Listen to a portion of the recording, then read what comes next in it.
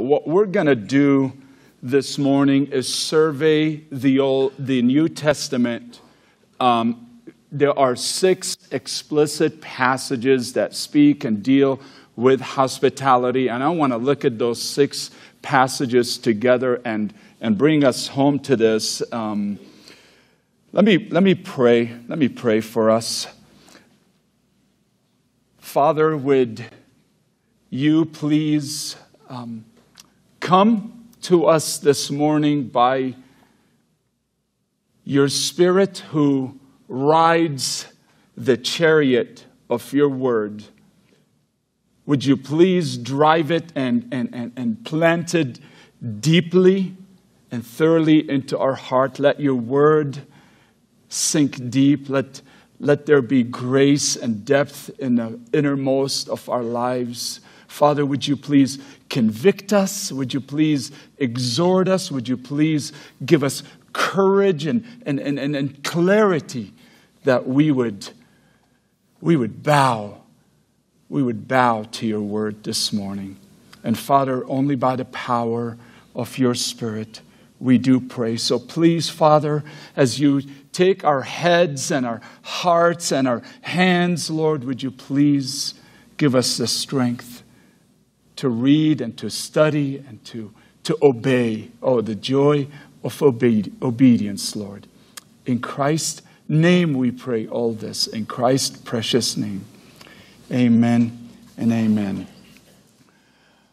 The theme of hospitality is a grand theme because it runs through the, the historical redemptive of God's working in the universe and particularly with people. Whether it is in the Old Testament or in the New Testament, the redemption story has been intertwined with hospitality, if you will.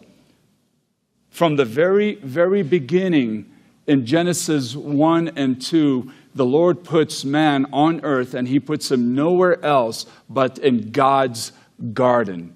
In the very first book of the Bible, in the very last book of the Bible, we, we have the marriage supper of the Lamb where we are invited and we are brought in to sit at the table with Jesus Christ. In the Old Testament, we have the Passover, one of the greatest, highest festival and celebration in the Old Testament. It is celebrated over a meal.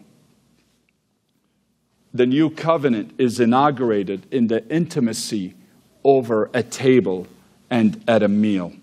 The new church in Acts went from home to home. The doctrine and the theology and the scriptures were taught from home to home through the hospitality of the saints.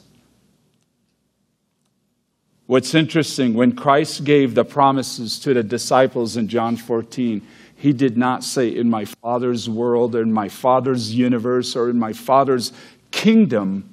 He said, In my Father's house, there are many rooms. I will go and I will prepare a room for you, and I will come back, and I will receive you to myself. And where I am at, there you shall be also. Everything, even all the promises spell out this, this hospitality. If heaven has a culture, at the heart of this culture would be hospitality. It is God welcoming. The very hands that took the nails on the cross, handled a towel, and served communion hours before. It was the hospitality of the Lord.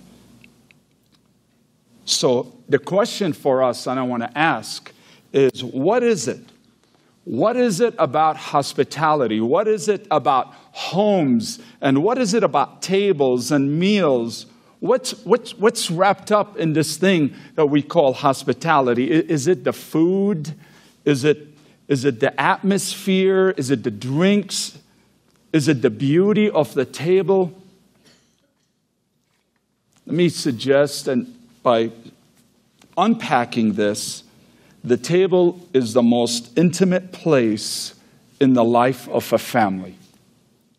It's closeness, it's sharing, it's extending, it's bringing close and near, others together. It's your own private space, and you're telling friends and strangers and people, Come, come, intrude into my space. Come, you're welcomed. It's taking, it's bringing strangers into the heart of your home. It's opening up your heart to them and opening up your table to them. It's honoring them. It's caring for them. It's caring for others. It's eating the same thing, the very thing that you enjoy in life. You're partaking of that together. What you're tasting, you're tasting together. The closeness, the joy, the fellowship through food, it's tasting and it's sustenance. You're partaking of that together. It is no accident when Jesus came and said, I am the bread of life. He didn't say, I'm the sword of life. He said, I am the bread of life. So, with that, I want us to really consider some of the passages. What is hospitality and how it's defined for us? I want to start out with the English dictionary. Hospitality is the friendly treatment of guests or strangers, an act or a show of welcome. This is even better. The quality or disposition of receiving and treating guests and strangers alike with warm, friendly, generous way. The New Testament word, the Greek word is philoxenia, comes from the compound word is to is love and strangers and when they're put together it's the love of strangers it's the love of the outsiders. The outsiders become insiders and that's what happens in hospitality. Christian hospitality goes above and beyond that. It is one found lost sinner sharing with another sinner the blessings of god through the table. Hospitality is modeling and extending God's grace to others one meal at a time. It is both physical and spiritual refreshing of others through meals and neighboring them. Some have even called it gospel neighboring. Kevin DeYoung put it this way he says, Opening our homes to others is a wonderful gift and a neglected discipline in the church, but we easily forget the whole point of hospitality. Think of it this way good hospitality is making your home a hospital. The idea is that friends and family and the wounded and the weary people come to your home and leave helped and refreshed, and hopefully stuffed too. Okay? Loving our neighbor is not a random act, it is commanded. It's not a suggestion in the New Testament. It is serious as loving God with our whole being. Hospitality in our home is reflecting and displaying the expression of heaven. Everything about heaven says, Come, come, come, as Greg read earlier. So, God could have sent his love, but God sent himself to bring us in. And that is the welcoming of hospitality. That is divine, divine hospitality. So there are six passages. The pursuit of others in hospitality, hospitality, not neglecting but extending God's love to strangers. And then 1 Peter 1 9, hospitality without an attitude. And then 1 Timothy 3 1 is hospitality is displaying spiritual maturity. And John 5, living out hospitality in a way that would glorify God. And finally, Matthew 25, hospitality that God takes very, very personal. And Lord willing, we'll make some applications with those.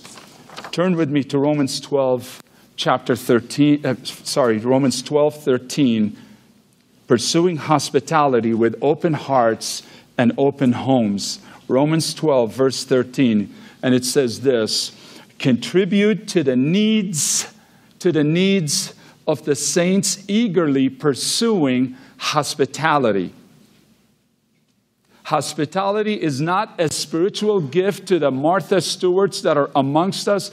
It is what is expected in every single believer in the body of Jesus Christ. Hospitality is not just a gift, it's, it's commanded to us, it's commanded to the church.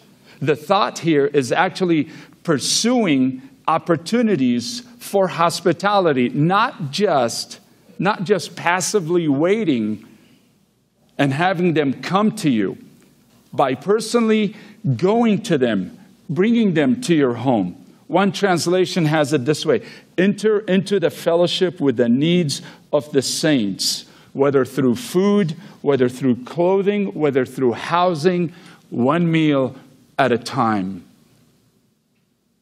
One meal at a time. And what's beautiful about verse 13 is that the whole chapter hangs on verse 1. And if you put verse 13 and verse 1 together, it'll say this I appeal to you, therefore, by the mercies of God, contribute to the needs of the saints and seek. The Greek word is seek, pursue, run after, to show hospitality. So, the motivation for hospitality is the mercies of God. Don't become a hoarder. Don't become a hoarder. Don't become a cul de sac. Become a conduit to the mercies of God. And Paul is saying in verse 1 show spiritual worship service by showing hospitality to one another. The mercies of God were brought, were bought and brought by the blood of Jesus Christ. They are not, they are new every morning with fresh generosity and hospitality. This is how we become generous. How we become generous. Romans 15, 7. Welcome one another as Christ welcomed you for the glory of God. For the glory of God. Tahibi, some of you know this dear man who came from the Grand Cayman as a pastor, and I think he's in D.C. He showed up at Mark Dever's church, and he said he was sitting down one day, and he said after they were done, this, this couple in front of him, this family in front of him, got up and asked him, Hey, would you come to our house? And he politely said no. Next week said, Would you like to come to our house? He said, Eventually we went to their house. He said, um, By the time by the time Jim and his family were relocating from DC at their last evening service, Mark Dever asked the, the whole congregation, How many of you have you been to Jim's and his wife's and his family's house? 90% of the congregation stood up. He said that was about 350 to 400 people. Literally, 90% stood up their home and their lives had become a very real extension of the church's ministry and pastoral care. They, they bore the measurable fruit simply and regularly having people in their life. Pursue, pursue, and share. He said, if that wasn't enough, sounds a burden, I should also mention that Jim and his wife have six kids, adopted nephews and nieces, and lived about 45 minutes from the church. He wasn't Superman, but the, but the way and it, he and his family modeled hospitality sometimes made it seem so. It also convicts me, he says, for not forsaking ease and crossing more boundaries with the love of Christ. May Jim's tribe increase. Here is a family that reflected, reflected Romans 12, 13. Contribute to the needs of the saints through hospitality, not just by filling their stomachs, but listening to them over a meal, sharing with them God's blessing, filling the aloneness they might feel and the weaknesses they, they might have in that season. It's displaying the family atmosphere to, meet, to needy and weak saints. I don't know about you, I have had plenty of seasons in my own life where I felt needy and, and weak. And oh, was the fellowship over a meal amazing. So, not only to saints, but hospitality to strangers. To strangers. Turn with me to Hebrews chapter 13. Hebrews 13, verses 1 and 2. After 12 chapters of, 12, of rich, rich theological insight and who we are and what we are in God and in Christ. Here comes the Christian ethic. Here comes the commands. And what's, what's amazing about this is he starts right off the bat in, in verses 1 and 2. He says, Let the love of the brethren continue. Do not neglect to show hospitality to strangers, for by some have entertained angels without knowing it. He was most likely referring to Abraham and Lot when they were visited by angels, by Christ Himself. And the point is not that you might run into angels today.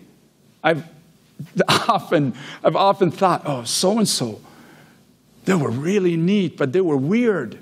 But they couldn't be angels. That's not the point here. The point is the blessings, the blessings that God bestows on that household Abraham was blessed, Lot was protected, Rahab, the harlot, was saved through hospitality. Showing a stranger, showing hospitalities to strangers who would be her enemies. It crosses boundaries. Remember, remember the prisoners as though in prison with them, and those who are ill treated since you yourselves are in the body.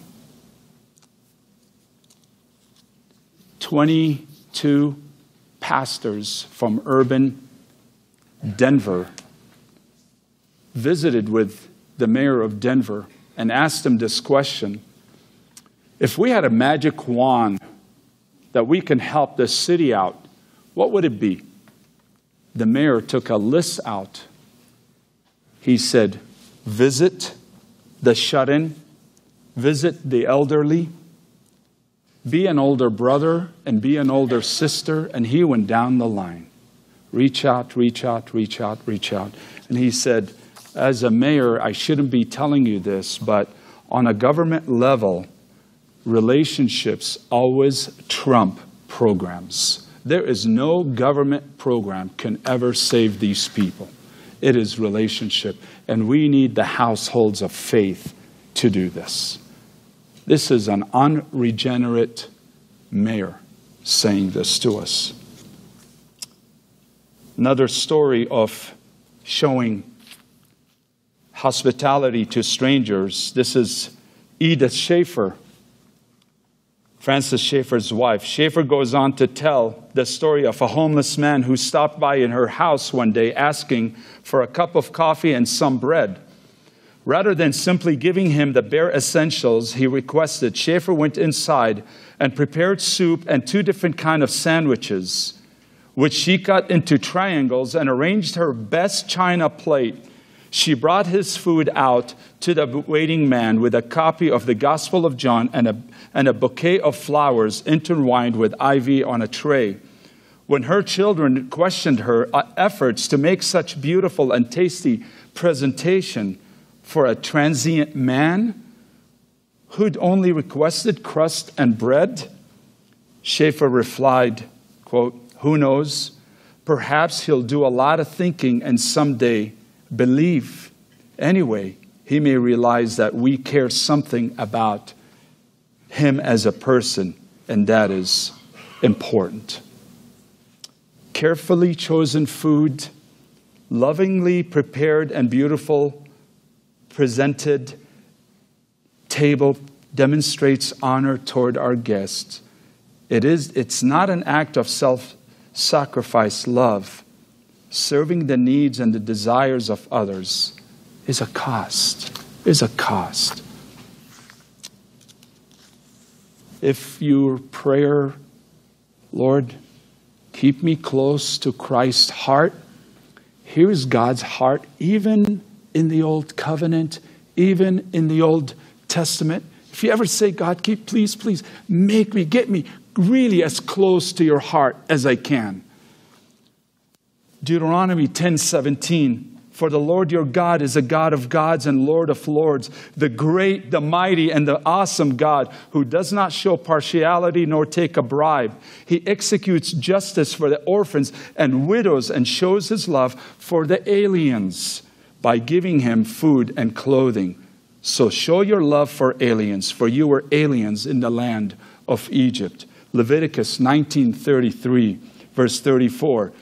When a stranger resides with you in the land, you shall not do him wrong. The stranger who resides with you shall be to you as a native among you, and you shall love him as yourself, for you were aliens in the land of Egypt. I am the Lord your God. I think what he's saying is don't let your past, you've been, you've been brought in You've been welcomed by the mercies of God. Don't let your past leave you. Don't forget. Don't forget your past. Treat the aliens the way you've been treated. And let me just say, God doesn't trickle His grace upon us, He lavishes us with His grace. The Roman Emperor Julian writing to his friend, this is amazing, in the fourth century. He regrets the progress of Christianity. He says, he says of Christians because it pulled people away. He says, these Christians who pulled people away from the Roman gods. He said, atheism, speaking of the Christian faith, has been specially advanced.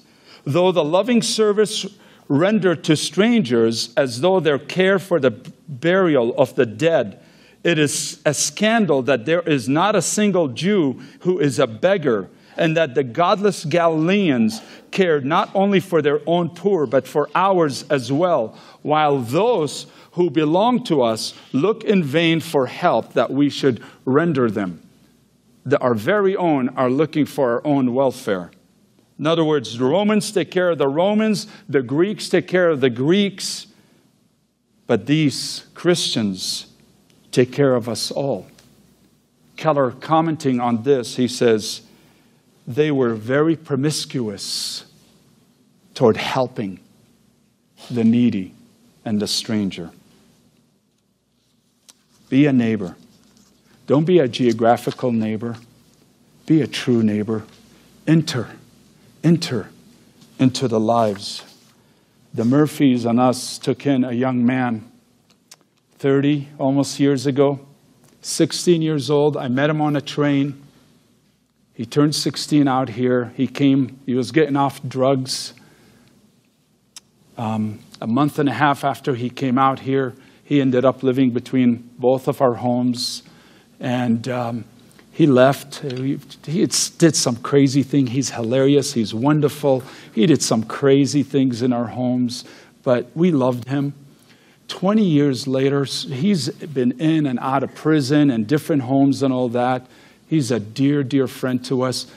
I looked at him and we were talking, and he said, he, we recalled some of the funny stories, and he looked at me in a very, very sober way. And he said, Ray, in all my childhood and in all my life, I never had so much joy like I did living in your home and the Murphy's home. He said, Those were the most joyful years of my life. Get in their lives. Get in their lives. And as you do, do it without an attitude. 1 Peter, 1 Peter chapter 4 I will tread very lightly with all respect. I will tread very lightly here. Um, 1 Peter chapter 4, verse 9. I love what Ken was preaching on a few weeks ago, and I, and I walked away and I realized in my own heart um, when, when love is hot and zealous and warm, you could, it's like plastic, you could stretch it and stretch it and stretch it and man, when it, be, when it gets cold, it snaps and it breaks. And it breaks with an attitude. It breaks with com- grumbling and complaining and, and, and being critical of others. And so he says here be hospitable. Be hospitable to one another without complaint. And let me just make a quick remark here. If anybody, anybody knew human nature, Peter did. Peter did. So, those who might take advantage of us, who might take advantage of our hospitality, of our homes through generosity, I, I, I, it doesn't matter. It doesn't matter because God lavishly graced us. I preach this to my own heart. Be frugal on yourself so you could be frivolous on God's people. Practice frugality on your own family and life so we could be frivolous upon the church who Christ is frivolous on. Without complaint. If Philippians 2:14 do all things without grumbling or disputing. When it comes to the hospitality of the body of Christ, to be critical, complaining about the saints is to act more like Satan than like Christ. Don't want to be harsh here, but I have to say it. You have to, you have to love the way Christ loved. Philippians 2 3 do nothing from selfishness or empty conceit, but with humility of mind regard one another as more important than yourselves. Give them the best. Give them the best. Do it with faith.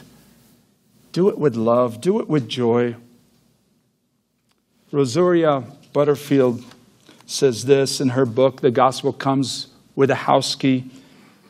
Yet too often, hospitality is nerve wracking experience for host and guest alike. Instead of setting our guests at ease, we set them on edge by telling them how bad the food is or will be, and what a mess the house is, and how sorry we are for the kids' behavior. We get worked up and crazy, busy, in all the wrong ways because we are more concerned about looking good than doing good. So instead of, our, of us encouraging the, the saints, those we host, they feel compelled to encourage us constantly. No, no, no, no, it's fine, it's good. We must think of our homes as hospitals, same word hospice, embassies, incubators, not castles, not fortresses, or museums. One more thing about attitude. If we focus on our actions without addressing our hearts, we may end up merely a better behaved lovers of self. Self promotion, oftentimes hospitality, is self promotion disguised as a dinner invitation is not true hospitality. And so 1 Peter 4:10 he goes on he says as you receive the gifts from God steward steward steward your home your gifts your money the mercies you received and do it by faith and splurge splurge on the saints. Again God didn't trickle his grace. He lavished Ephesians 1 he lavished us with his grace which leads us to the fourth thing about hospitality. Turn with me to 1 Timothy chapter 3. 1 Timothy chapter 3. True hos- hospitable people are usually reflecting spiritual maturity. There is a spiritual maturity there. There is spiritual maturity, and when it comes to hospitality, it is, it, it is amazing and it is important enough for Paul Paul's mind to mention both in Timothy the qualification of an elder and Titus that that is required of an elder. Notice what he says. It is a trustworthy statement. If any man aspires to the office of an overseer, it is a fine work he desires to do. So here is the qualification, verse 2. By the way, these qualifications are, are, are, are windows into a man's life and character, they're windows into the soul of that man. And he says, An overseer then must be above reproach, the husband of one wife, temperate, prudent, respectful, and notice, hospitable comes before able to teach. If there's anything about the sequence, if Paul meant anything, he puts hospitality before gifts and teaching. That's how important it is. In describing an elder's calling, Alexander Strauch noted an open home is a sign of an open heart and a loving sacrificial spirit. A lack of hospitality is a sure sign of selfish, lifeless, loveless Christianity. And, and, and speaking of Alex Strauch, I, I love that man, taught me so much about loving people. He and I frequent this place, a Mediterranean restaurant. And one day, I wasn't there, I was told this, he bought his food, and there was a family, all covered up Muslims from the, Arab, from the Arabian Gulf. And at, after he purchased his food, he handed the lady a $100 bill and he said, Would you do me a favor? Tell them in Arabic that as an American Christian, I welcome them into our country because I know if I went to their home in their country, they would have me. So I would be more than glad to pay for this. Now, Alex didn't tell me this story. The person who told us this story came and sat at the table, the manager of the restaurant, who happens to be a Muslim Palestinian woman who said, I cannot believe this man.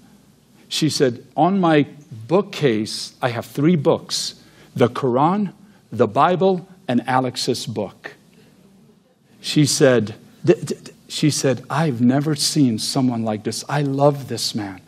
Through his hospitality, not even people coming to his home, even in a restaurant, even in a restaurant, he got the life of Christ right into that woman's living room and ministered to her. And here, a Muslim is speaking about the hospitality of a Christian and how beautiful it was. It is important. It is important leaders, leaders should be exemplary to the rest of the congregation. The Apostle Paul teaches us that being hospitable isn't merely a nice thing, it is essential. It is essential. Nobility and hospitality simply seem to fit together, and it's all the more appropriate that God's people, especially leaders, exhibit these qualities that goes the same to the older woman. 1 Timothy 5 9 and 10 speaks of this older woman who had been widowed. And it really is, again, another indication, this window into her, this woman's life and soul. It says, speaking of this older woman who's a widow, having a reputation, he says, having a reputation for good works. And if she has brought up children, if she has shown hospitality to strangers, if she has washed the saints' feet, if she has assisted those in distress, and if she has devoted herself to every good work. In other words, this woman's home was mercy ministry to strangers and to saints together. So the command of hospitality, not neglecting hospitality to strangers, hospitality without an attitude and the maturity and, the, and of hospitality that that it's reflected in our life. Fifth, showing hospitality for the glory of God. Would you turn with me to the third book of John, third letter of John, for a moment?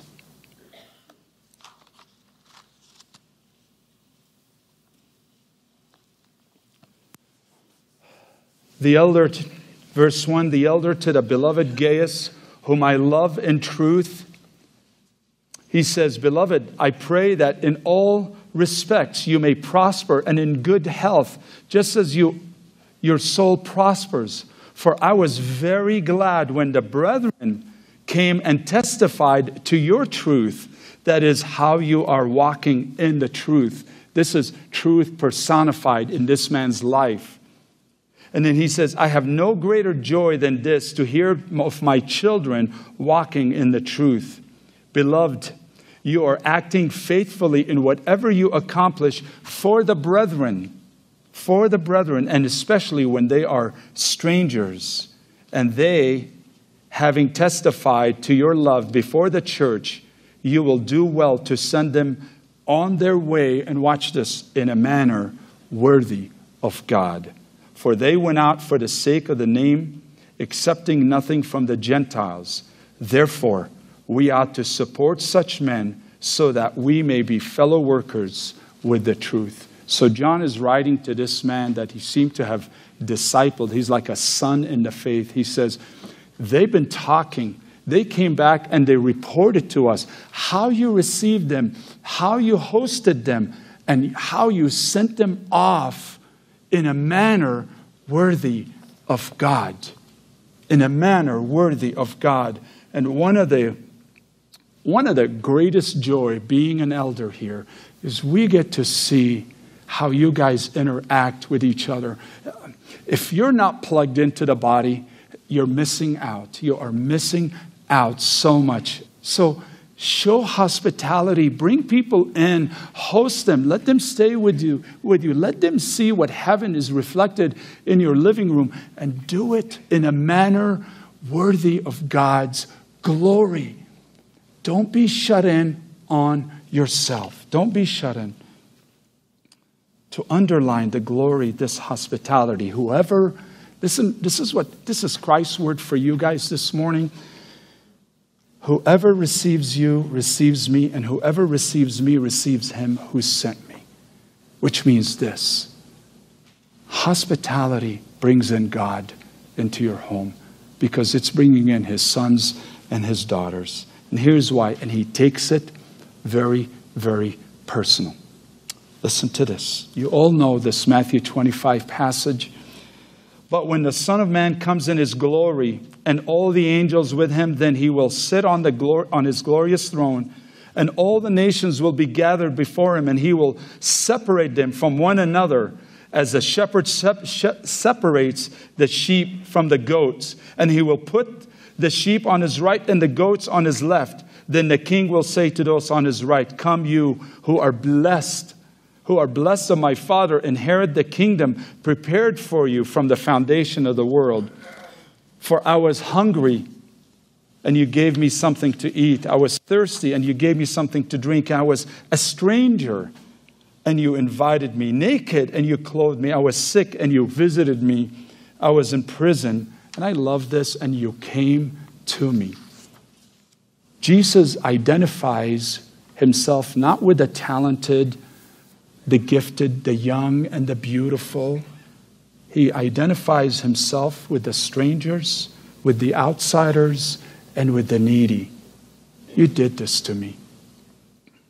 Then the righteous, I love this, then the righteous will answer him, Lord, when did we see you hungry? And when did we feed you or thirsty and give you something to drink? And when did we see you as a stranger and invited you in and naked and clothed you? And when did we see you sick in prison and come to you? What's amazing about this, about this passage is the, the righteous and the generous and the hospitable have this beautiful amnesia. They're just, they forget all the stuff because that was their life.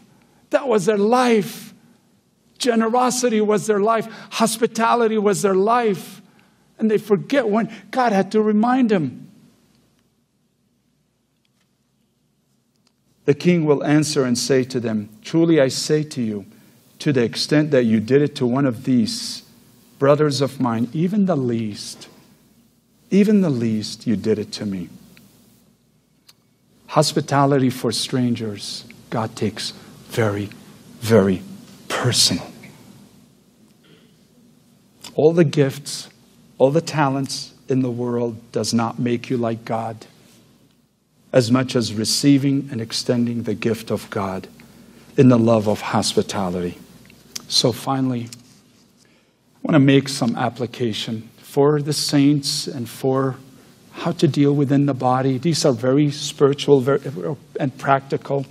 Hospitality is a lost art in America an overlooked, neglected command. Don't try to find loopholes like the lawyers. Who is my neighbor? Don't try to do that. Please, please.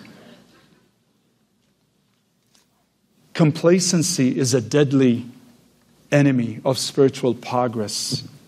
Wage spiritual war on your laziness and on, on complacency. Busy, busyness I define busyness as being under Satan's yoke. Doesn't make you special, doesn't make you wonderful. It makes you busy. And you neglect the beauties of God's command. Butterfield says this in her book Being available to neighbors means cutting back on your own entertainment indulgences, building in margin time in the day, and budgeting to feed many more people than those who share your last name. Make sacrifices for your unsaved neighbors. That means something. Go out of your way for them. Being hospitable in a post Christian means meeting strangers and making them neighbors, and by God's grace, welcoming neighbors into the family of God. Our homes are crucial for this. Our homes are the bridge between the church and the world. We have to live in the world for the world, and the only way we can do that is living it from the cross. So, how do we start? How do we start? Pray, look for opportunities. When you come here, show up five minutes earlier, sit in your car. Best spiritual decision I've made for a long time. And pray. Pray that God would use you in the body. Pray that God would bring the right person. He says, pursue hospitality. Come in here with so spiritually alert. Have the mind of Christ. Say, Lord, put the right person, the right family in my path today. Ask God to grace you. Talk, get in people's lives in a good way. Okay? Be aware of needs around the church. It, we live in one of the most expensive counties in America. Most of us are not needy physically here, but we're needy and emotionally, spiritually, mentally. Start with distant families. Adopt a night or two. Don't, don't go crazy. Take, set aside a night or two, one for the saints and maybe one for strangers, one or two nights out of the week, and build from that. Be a blessing. Be a blessing to them. Make them feel as part of the family when they come in. Make it about them and about others, not about yourself. If they are Christians, ask them how they, knew, how they came to know the Lord. Ask them about their testimony. Be engaging. I love, there's one book. I've been reading this woman's blog. I can't wait till I get back to construction after reading all this. But being a neighbor without being weird, it's a great book to read. And, and I can't believe I'm suggesting this. Um, don't try to be a Martha Stewart, okay? Don't try to be a Martha Stewart. But be generous. Be generous with your food. Be generous in your attention to them. Make them feel at home. If they have unruly kids, engage the kids. Let the guests have the best of food. Let them eat first. Seat them at the best table of the house or the best seat at the house. The art of building and cultivating relationships are not a project. Enter lives, enter lives to your table. Don't be a geographical neighbor. Finally, also, if they're unbelievers, be patient, invite them. Don't worry about what they believe or who they are. Ask them about their family. Ask them what, where they're from. Ask them if they, how they grew up. Natural way to say, Did you go to church with your mom and dad when you grew up? We did. Did you guys do that? And that lets end the conversation so easily. It is, it is an amazing thing what, what the Lord does. And, and, and let me add this. When, as a, as a, as a elder and as your pastor, I'm seeing this grievous thing happening in our country and in our nation. And I think MacArthur said this in a different way, but when your policies and your politics become your passion, you will hate the mission field. You will hate your enemies and you will hate your neighbors. I don't have to worry about what my neighbor thinks.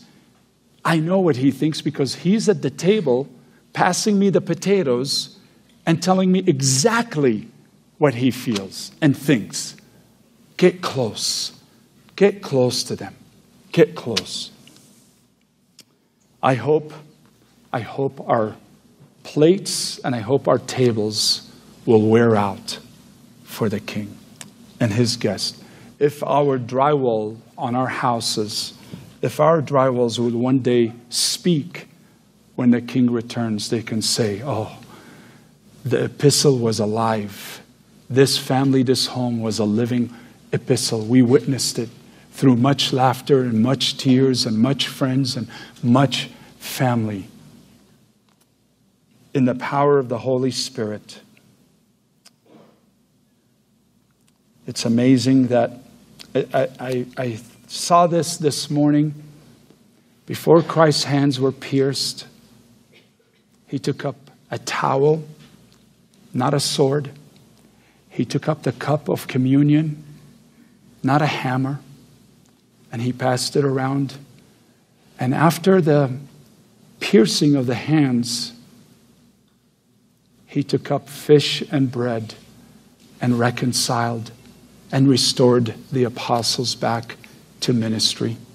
God has given us the ministry of reconciliation, one home at a time, one meal at a time.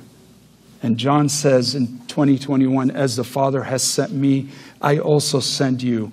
Open your hearts, open your hands, open your homes to believers and unbelievers. Don't get shut in on yourself. And may the Lord bless, may the Lord bless every meal and multiply every meal. Let's pray.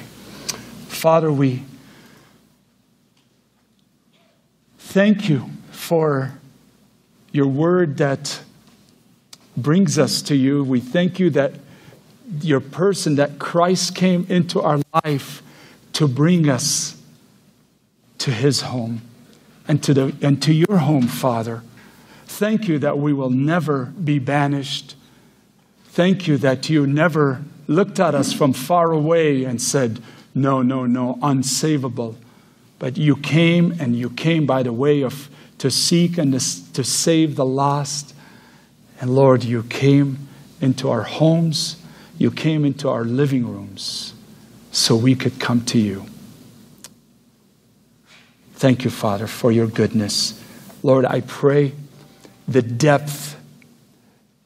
I pray that the depth and the height and the breadth of Christ's love would sink deep, would sink deep into our hearts. Change us, Lord. Please change us. Give us open hearts, give us open hands, and give us open homes that we would love your saints. In Christ's name, amen.